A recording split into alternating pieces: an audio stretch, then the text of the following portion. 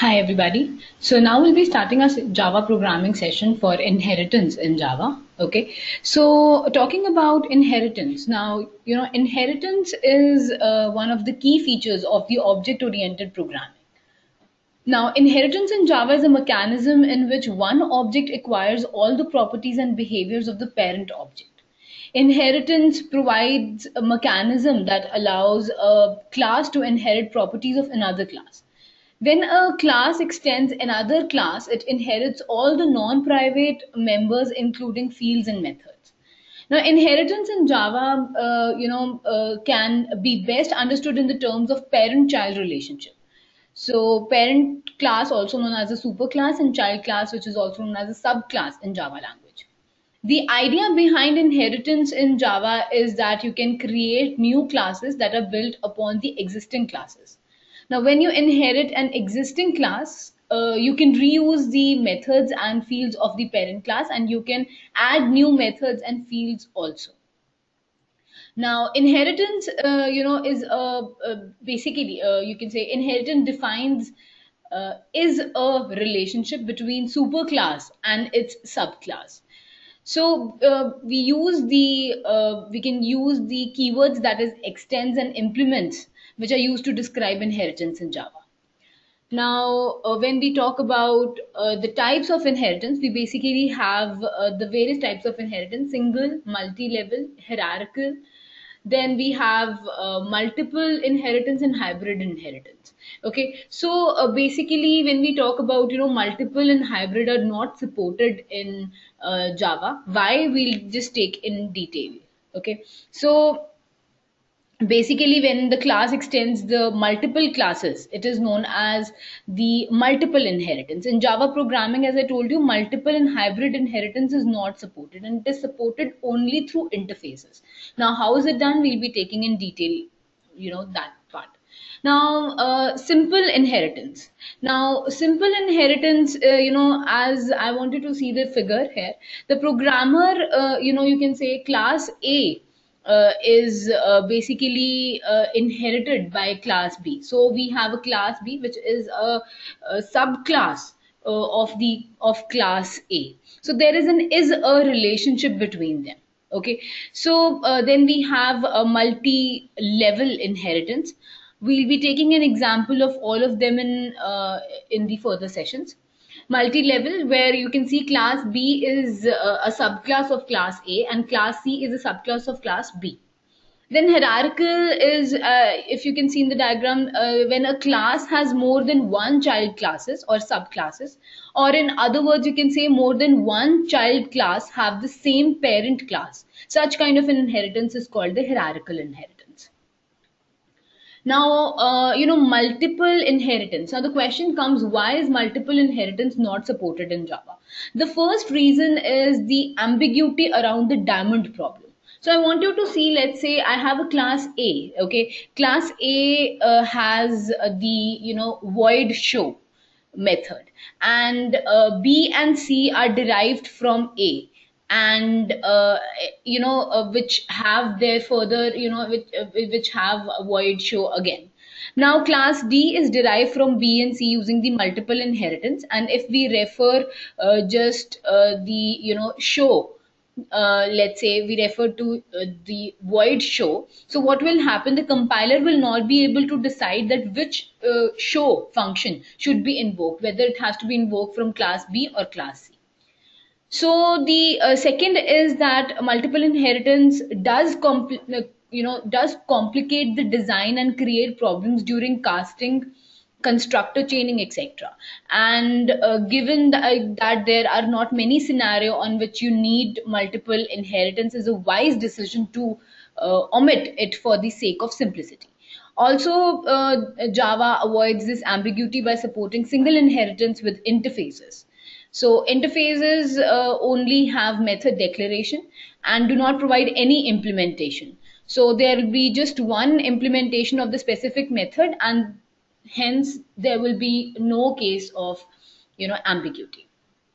So we'll just take the programs. So as I want you to see, I have the simple inheritance. So uh, in here you can see I have a parent class that is class employee and I have pub, uh, float salary that is 40,000. Now uh, I make a class, another class that is single inheritance which is extending the employee okay? So basically it becomes the subclass from our parent class that is the single inheritance sorry. Uh, the single inheritance is the subclass of our class employee okay? Then i have my uh, I write int bonus is equal to 10,000 and in the main method I have uh, I'm making the object of the single inheritance class. Using this I'm calling p dot bonus and p dot salary. Certainly p dot bonus will be uh, assessed. Why? Because uh, the subclass uh, single inheritance gets all the fields and data me data members as well as member functions that are present in the parent class. So if I run this program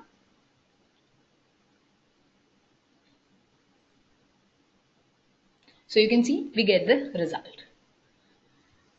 So now moving on to the multi-level inheritance. So I want you to see that I have a class that is students. Okay, I have a class students and within the class I have S number, string S name. I am setting the S number and S name uh, with the help of the public set std. I'm also, uh, you know, uh, getting uh, the result with the help of this particular function that is public void put stud. Now, marks is a, another class that is, uh, you know, uh, is a subclass for the student class. Okay. And I'm setting the marks here and I'm getting the marks with the help of put marks. Then I have the, uh, you know, uh, the class which is extended, which, which extends marks. That is again uh, the subclass of class marks. But what will happen uh, since mark uh, marks is extended uh, extends student class so whatever methods were present in that is uh, the multi-level inheritance will now have set stu- uh, student put stud set marks put marks so uh, basically what will happen if you can see that I write public uh, private in total. I'm calculating the result with the help of mark 1 and mark 2. Now mark 1 and mark 2 have not been defined but uh, since it, it is present in uh, extend students and it is private and it can be accessed from outside class that is in one which it, it has been inherited. Okay, so I write put total here now in the main method, I'm making the object of the F uh, in, uh, sorry, multiple inheritance. I am writing the, if you can see, this particular uh, function is not present in uh, the multiple, uh, multi-level inheritance class. It comes from the students class. Okay. So I'm able to assess all these methods that is set student, then set marks, uh, though S, uh, cal c is present in a multiple multi-level inheritance. Then put stud put marks and put total. Put total is again present in uh, your multiple inheritance multi-level inheritance i'm sorry. So if i run this program so if you can see i have the student number as 100 uh, the name as uh, Nitya. Then I have marks as 78 and the second marks 2 as 89. So the result I get, the total I get as 167. Okay, so this is about it. I hope this will be fine. Now moving on to hierarchical inheritance. Now in hierarchical inheritance, if you can see, I have a class that is class A1 okay? Then i have another class class b1 now class a1 has a method that is void display a. And i have a class b1 which extends a1 okay? And it has a method void display b. Now uh, since it uh, you know it uh, extends uh, you can say b1 extends a1 so the method display a uh, display a can be assessed from class b1 also.